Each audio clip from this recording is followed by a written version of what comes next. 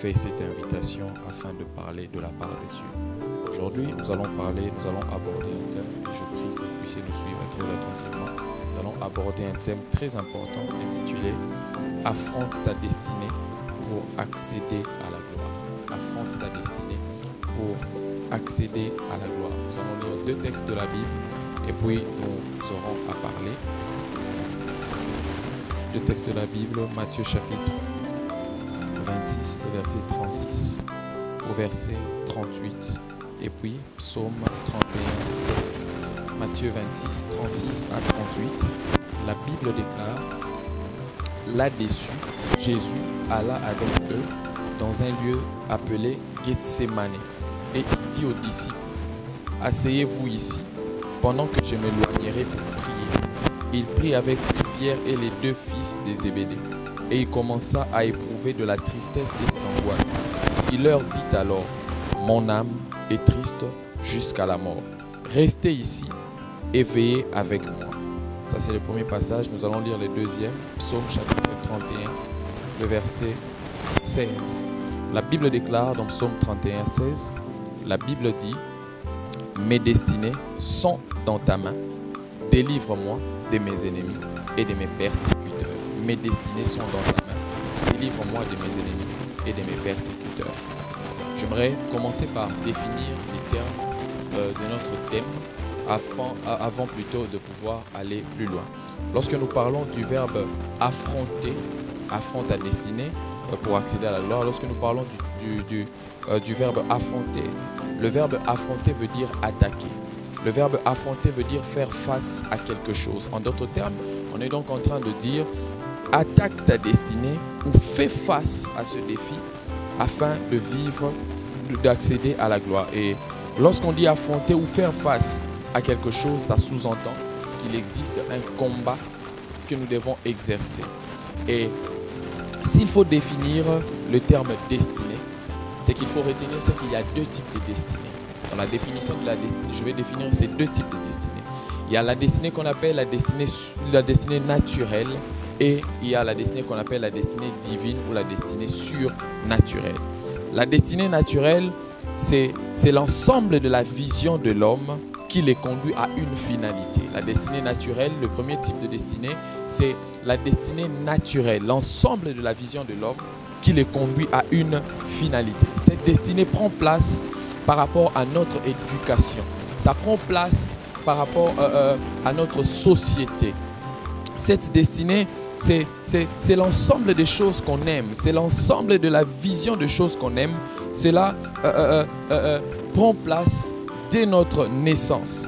C'est comme un homme qui se prédispose à réaliser certaines choses. Ça, c'est ce qu'on appelle euh, euh, la destinée naturelle. C'est une destinée liée à notre talent.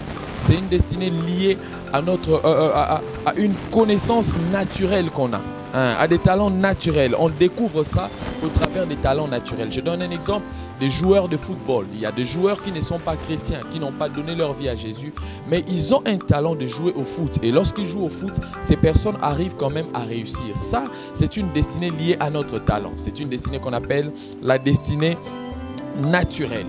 Et dans la Bible, la Bible nous parle de Paul également, qui, dans sa destinée naturelle, était un pharisien il était un pharisien, il a, il a appris la loi et il, exerçait ça. Ça, c'était dans la destinée naturelle, selon euh, euh, euh, la société dans laquelle il vivait. Parce que à l'époque, lorsque, lorsque tu naissais à, cette époque-là et que tu es de la famille des Juifs, il fallait qu'on puisse t'apprendre certaines choses liées à l'éducation juive. Et sans même que tu puisses recevoir Jésus, sans même que tu puisses atteindre certaines choses avec le Seigneur, la destinée naturelle prenait déjà part en fonction de, comment se passait la société juive à l'époque. Et c'est la première destinée. Cette destinée peut te faire réussir sur la terre mais cette destinée est un échec selon la volonté de Dieu. Parce que c'est lié à notre talent, c'est lié à notre, euh, euh, à notre vision personnelle sans d'abord comprendre la vision de Dieu. Paul, selon la destinée naturelle, était un pharisien. Mais selon la destinée surnaturelle ou la destinée divine, c'était un apôtre disciple de Jésus. Alléluia. Donc la première destinée, c'est une destinée qu'on appelle la destinée naturelle, qui est liée à notre talent, qui est liée à, certaines connaissances innées. Alléluia. Certaines connaissances innées. Et et par rapport à, notre éducation.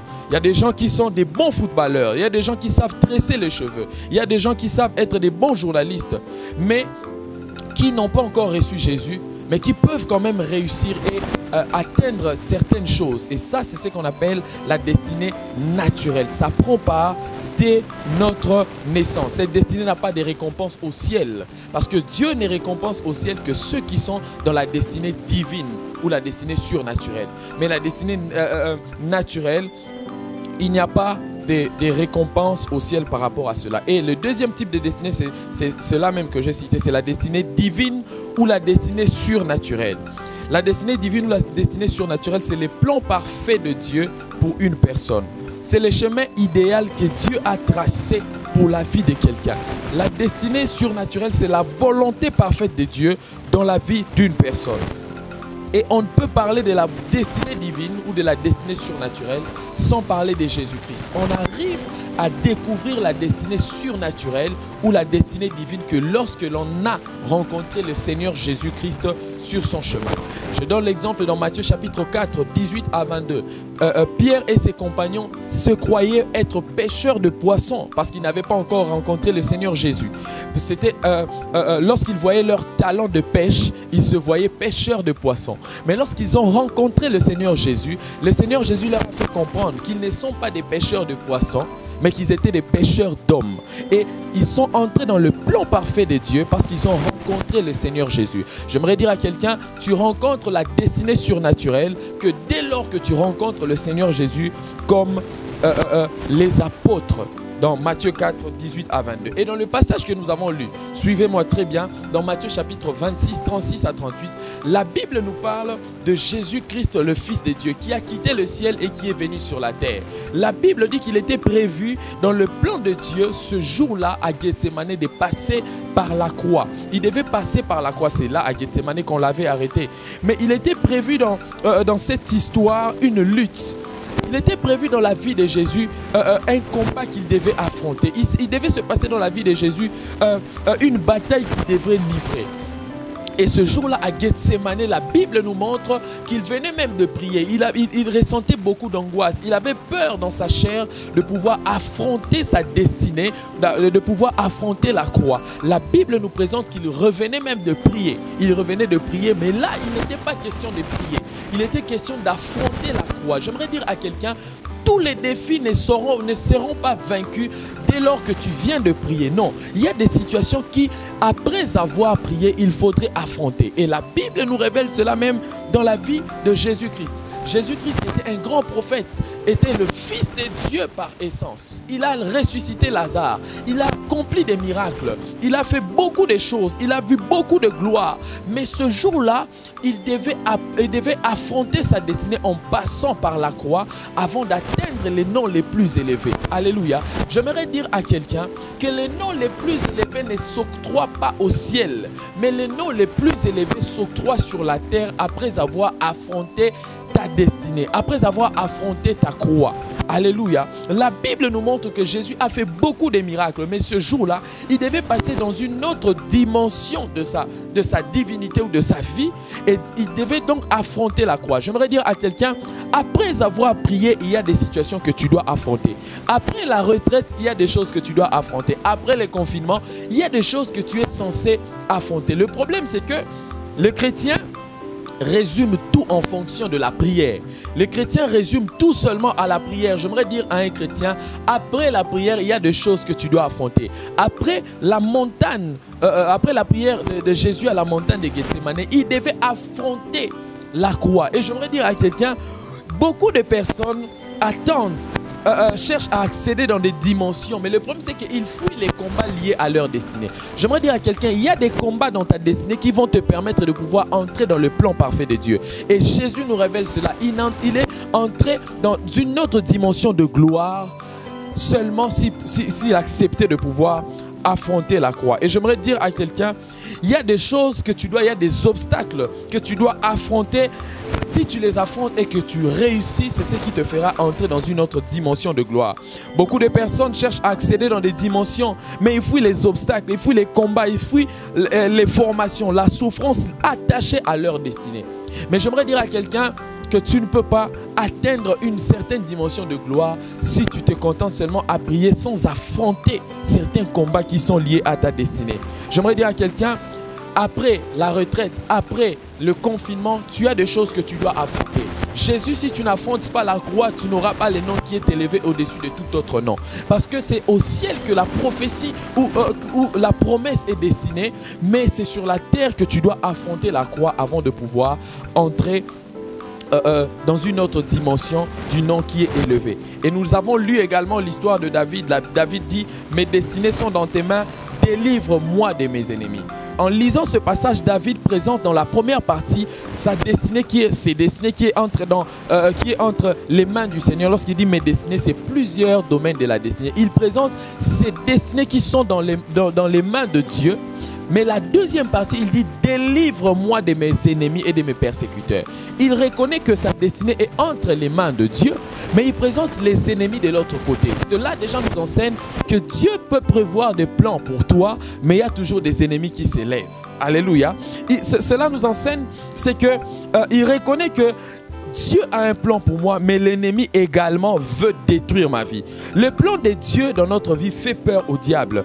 Et le diable vient afin de se tenir comme un ennemi pour nous empêcher d'atteindre notre destinée. David reconnaît, je voudrais dire à quelqu'un, tes destinées sont dans les mains de Dieu, mais le diable ne veut pas que tu puisses atteindre la volonté de Dieu. Il a peur de la volonté de Dieu. C'est pourquoi il prévoit des ennemis, il prévoit des persécutions pour t'empêcher à pouvoir atteindre euh, euh, euh, ta destinée. Et on ne peut donc pas affronter ou combattre un ennemi si on n'a pas la connaissance de cet ennemi. Tu ne peux pas te dire j'ai des ennemis dans ma destinée et je les combats si tu n'as pas la révélation de quel type d'ennemi que tu as. Bien aimé, la connaissance de tes ennemis te permettra de pouvoir utiliser les bonnes armes pour les affronter. La connaissance de la trajectoire d'ennemis que tu as te permettra d'utiliser les bonnes méthodes afin de pouvoir affronter ces ennemis. Et je vais parler de quelques ennemis avant de finir. Euh, euh, ce message. Il existe dans mon message trois types d'ennemis. Bien aimé, tu dois connaître tes ennemis afin de canaliser l'énergie proportionnelle qu'il faut pour leur carrure. Alléluia. Il faut que tu puisses euh, connaître tes ennemis pour savoir quelle énergie tu dois dégager par rapport à tel ou tel type d'ennemi. Et en ce jour, je vais nous parler des trois types d'ennemis. Le premier type d'ennemis, ce sont des ennemis qui sont là pour nous bloquer et pour nous désorienter qui sont là, les ennemis qui sont là pour nous bloquer et pour nous désorienter. 1 roi chapitre 13, le verset 11 au verset 18. 1 roi 13, 11 à 18. La Bible nous parle d'un vieux prophète, d'un prophète qui a reçu euh, euh, une prophétie de Dieu, une direction de Dieu, lui disant que voilà, tu ne dois pas faire ceci, tu ne dois pas faire cela. Mais la Bible dit qu'alors qu'il avait reçu cette prophétie, en chemin, il a rencontré un vieux prophète il a rencontré un vieux prophète qui est venu afin de lui dire que voilà, un vieux prophète qui venait de Bethel, qui lui a dit voilà, euh, euh, moi aussi Dieu m'a envoyé pour te dire que ce que toi tu connais là, tu ne dois pas le faire, tu dois faire ceci et tu dois faire cela. Les vieux prophètes étaient venus pour désorienter le jeune prophète. Et le premier type d'ennemi, ce sont ces types d'ennemis-là. Des personnes qui viennent pour nous bloquer et nous désorienter. J'aimerais dire à quelqu'un, parmi les ennemis qui nous combattent, il y a les diables qui nous combattent. Et le diable, son souhait, c'est que nous ne puissions pas atteindre le plan parfait de Dieu. Le diable se présente au devant de nous afin de nous bloquer et de nous désorienter un tout petit peu comme les vieux prophètes qui a désorienté euh, euh, euh, le jeune prophète. Et nous le lisons dans Genèse chapitre 3. Alors que Dieu avait annoncé sa parole à Adam, la Bible nous montre le serpent qui est, qui, qui est venu en faux prophète, en vieux faux prophète, afin de pouvoir désorienter Adam et Ève dans, dans le jardin. Alléluia. C'est que ce que nous voyons les vieux prophètes faire, c'est exactement ce que le serpent serpent a eu à faire en Éden, alors que Dieu avait donné une direction, le serpent est venu pour désorienter. Et ce jour-là également, alors que Dieu avait donné une direction aux jeunes prophètes, la Bible nous montre le vieux prophète qui était venu afin de les désorienter. Et j'aimerais dire à quelqu'un, le diable ne voudra pas que tu puisses atteindre la gloire avec Dieu. Le diable ne voudra pas que tu puisses atteindre la volonté parfaite de Dieu. Le diable ne voudra pas que tu puisses atteindre le plan, les buts profonds de Dieu pour ta vie. C'est pourquoi il va, se présenter dans ta vie sous la forme des choses que tu aimes, afin de te bloquer. Les premiers types d'ennemis, ce sont des ennemis qui nous bloquent et qui veulent nous empêcher. cet ennemi, ces ennemis ou ces, cet ennemi, ces ennemis viennent afin de nous présenter des opportunités qui nuisent à notre destinée. Ce sont des personnes qui viennent comme les vieux prophètes pour te dire non, voilà, il faut aller dans ma maison. Le jeune prophète avait dit que Dieu m'avait interdit de manger, je ne dois pas manger ni boire. Mais le vieux prophète est venu pour le désorienter et lui dire voilà, tu dois manger, tu dois boire, viens, tu vas le faire à ma table. Et euh, euh, les premiers types d'ennemis se présentent comme les vieux prophètes. Ils viennent afin de pouvoir nous dire voilà, tu, toi tu as tes principes, c'est vrai, mais voilà, il faut faire aussi ça. Il faut faire aussi ça. Et les, les, les, les premiers types d'ennemis nous invitent toujours sur leur table afin de manger, mais ils nous invitent vite pour pouvoir nous détruire, mais étant sur la table. Hein, être sur la table, c'est être privilégié. Alléluia. Et ce sont des ennemis qui viennent en forme de privilèges, mais qui viennent afin de nous détruire. Alléluia. Les vieux prophètes viennent te présenter les privilèges, mais les vieux prophètes, son souhait, c'est de pouvoir te désorienter. Alléluia. Donc, le diable et ses ennemis viennent afin de pouvoir, et ses acolytes viennent afin de pouvoir nous désorienter. C'est ce qui s'est passé avec les vieux prophètes. Il est venu afin de désorienter les jeunes prophètes. Et j'aimerais dire à quelqu'un, il y a de ces personnes dans ta vie qui viennent pour te désorienter.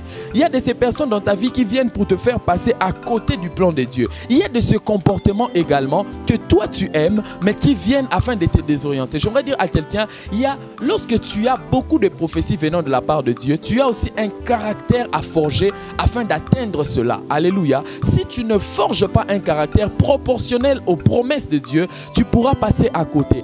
Dieu avait prévu euh, euh, une grande destinée pour Jérémie, mais la Bible parle, nous, nous explique que Jérémie était plaintif. J'aimerais dire à quelqu'un, si Jérémie demeurait dans sa dimension de plaintif, il ne pouvait pas être le grand prophète que Dieu avait prévu. Donc il devait ajuster euh, son comportement, son caractère en fonction de la promesse de Dieu. Et j'aimerais dire à quelqu'un, si tu permets de te mettre à table avec les vieux prophètes, il va te désorienter. Si tu te permets de te mettre à table avec certains comportements, cela va vont te désorienter. Si tu te permets de te mettre à table avec un certain nombre de personnes, ces personnes te présenteront les choses de la table, mais ces personnes te détourneront de la volonté de Dieu. Et je suis venu dire à quelqu'un, et il y a des entourages que tu dois quitter. Pourquoi? Parce que ces entourages-là ne te permettent pas de pouvoir évoluer dans la trajectoire de la destinée divine ou surnaturelle. Je parle à quelqu'un.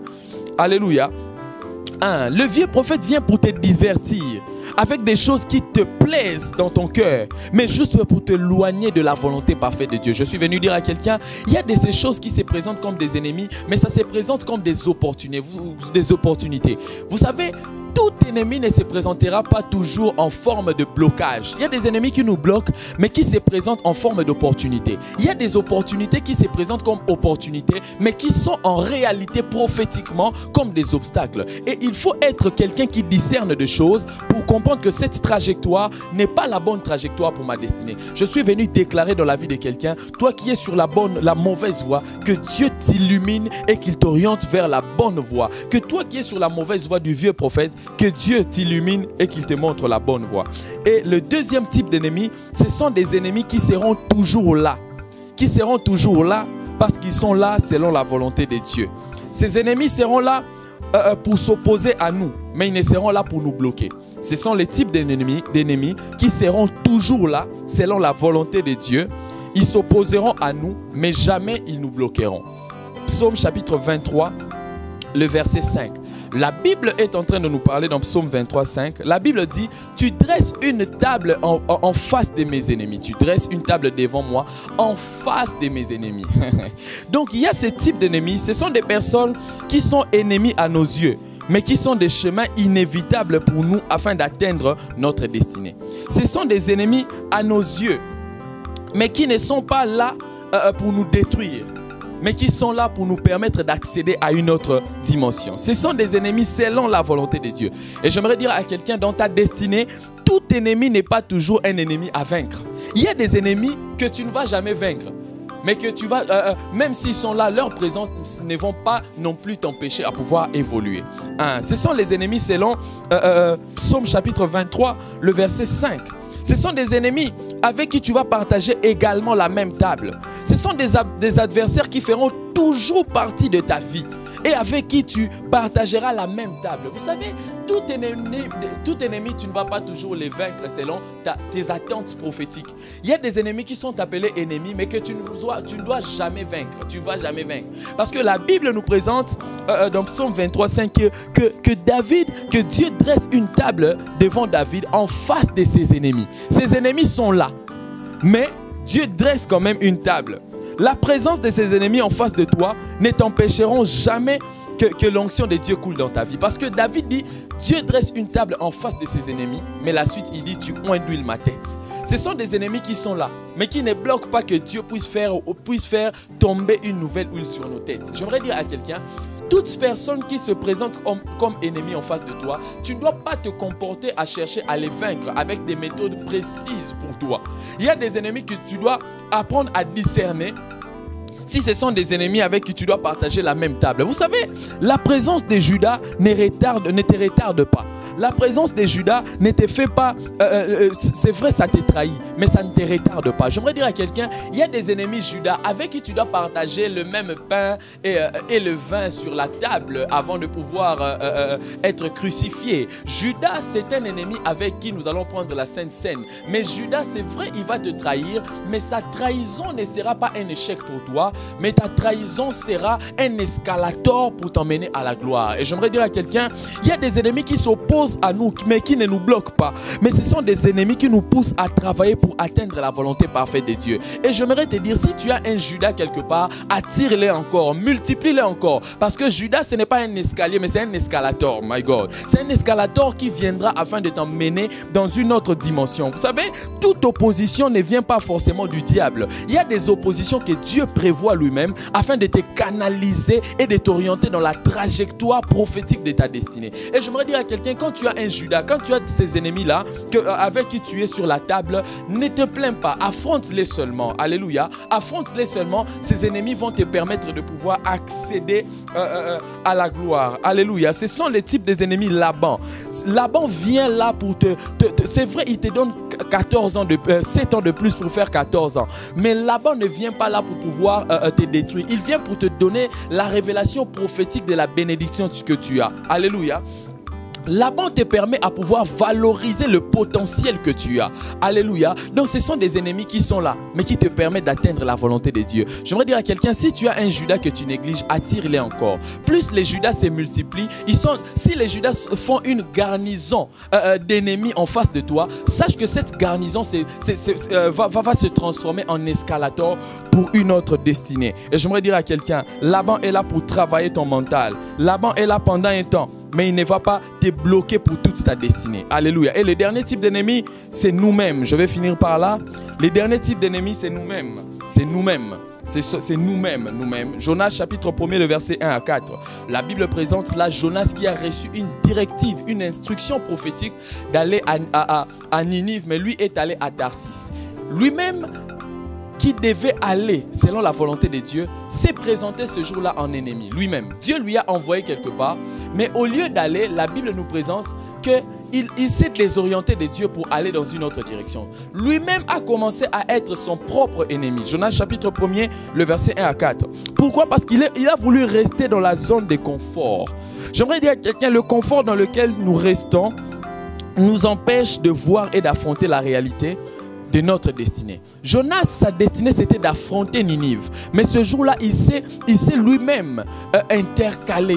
Il s'est, levé comme son propre ennemi, mais il ne savait pas. J'aimerais dire à quelqu'un, parfois quand tu, tu désobéis à Dieu, tu te présentes toi-même comme ton propre ennemi. Beaucoup de personnes ont comme ennemi eux-mêmes.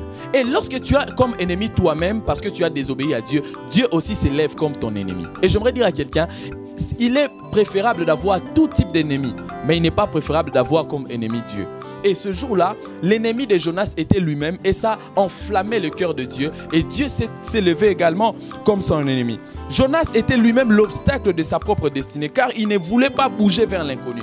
Parfois, Dieu te dit de bouger vers l'inconnu. Tu ne sais pas où tu vas, mais c'est la volonté de Dieu.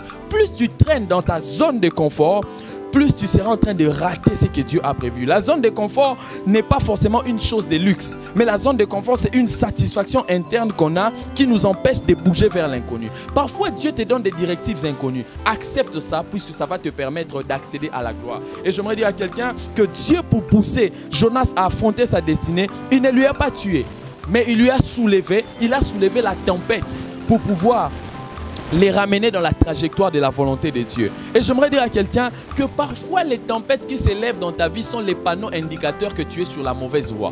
Parfois certaines tempêtes qui s'élèvent dans ta vie sont les panneaux indicateurs que tu es dans la mauvaise voie. Et qu'est-ce que tu dois faire? Tu dois seulement t'élever et te recadrer selon la volonté de Dieu. Et Dieu a envoyé premièrement la tempête et deuxièmement Dieu a envoyé le poisson. Le poisson n'était pas venu pour tuer Jonas, mais c'était un moyen pour aller le jeter dans le pays promis par Dieu, dans le pays où Dieu voulait qu'il soit. Parfois, tu cherches un transport selon les hommes, mais Dieu envoie parfois les poissons Airways. Poisson Airways, c'est un moyen de transport qui t'emmène dans la volonté de Dieu. Hein? Ce n'est pas par avion que Jonas est allé à Ninive, mais c'est par un poisson qu'il est allé à Ninive. C'était Poisson Airways, mais pour le conduire sur le chemin de sa destinée. J'aimerais dire à quelqu'un, parfois tu traverses des tempêtes, parfois tu as l'impression d'être dans la bouche du poisson, mais sache que c'est une orientation prophétique pour que tu reviennes sur la bonne voie. J'aimerais dire à quelqu'un, accepte les tempêtes, accepte que les poissons t'avalent, mais pourvu que tu puisses accéder à la gloire, de pouvoir rencontrer le chemin de Dieu. Lorsque Jonas, tu acceptes euh, le chemin de Dieu, sache que tu vas accéder à la gloire. Même les animaux vont jeûner. Dans la Bible, les animaux n'ont jeûné que dans l'histoire de Jonas. Pourquoi? Parce qu'il a affronté sa destinée. Quand il s'est désorienté, il n'a pas vu la gloire, mais lorsqu'il s'est recadré, la Bible nous présente qu'il a vu la gloire. J'aimerais dire à quelqu'un, affronte ta destinée pour accéder à la gloire. Affronte Ninive pour accéder à la gloire. Tu veux voir une autre dimension de Dieu affronte ta destinée. Ça te permettra d'accéder à la gloire. Que Dieu vous bénisse, vous qui nous avez suivis. Je vais faire une prière pour nous. Seigneur, je prie au nom de Jésus. Je te rends grâce pour cette parole et je te prie que cette parole soit une directive pour la vie de quelqu'un. Oriente quelqu'un. Au nom de Jésus, nous avons ainsi prié. Amen. Que Dieu vous bénisse abondamment. Ne manquez pas de partager cette vidéo si elle vous a béni. Merci beaucoup. Et on se voit la prochaine fois sur la même antenne de AS Info. Que Dieu vous bénisse. Merci beaucoup.